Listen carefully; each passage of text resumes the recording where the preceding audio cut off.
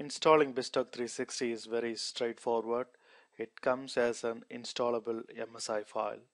Once you have downloaded the MSI file from the website, you go to Start menu and, and click CMD.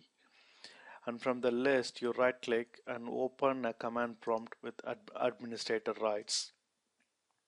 You navigate to the folder where you have uh, downloaded uh, BizTalk 360 uh, have stored that in a folder called uh, 360 release uh, CD video for this demonstration. So you simply install the MSI file and you need you can watch out for a few things. Uh, it comes with a fully uh, signed certificate so you can verify the publisher here. Uh, it, when you click the run, run command, click next.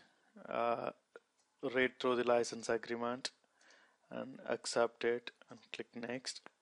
The installer comes with set of predefined checks so just to make sure a BizTalk 360 can run smoothly. So it, it tests various things and gives you corresponding errors uh, if in case it can't it can't find the prerequisite required to run BizTalk 360 in, in this machine uh, we got everything configured so it's it's all green. Click next the combo box lists all the the websites uh, in the in the server. You choose the one uh, where you want to install uh, BizTalk 360 the and, and you can leave the default names for the virtual directory and the application pool. Uh, you just need to specify the the service account credentials. One click next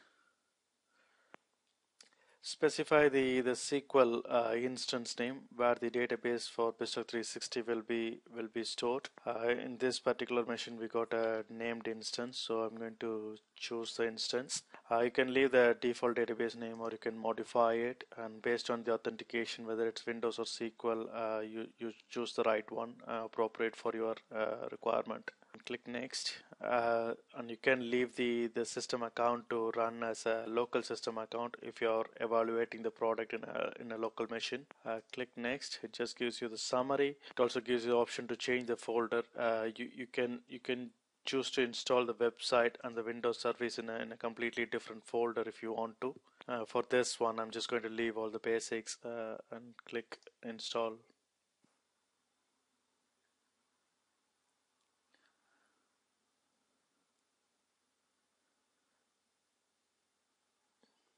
okay once the installation is is complete